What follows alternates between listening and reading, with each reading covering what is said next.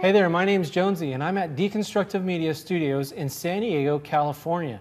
And today I'm going to show you how to extract audio from a QuickTime video.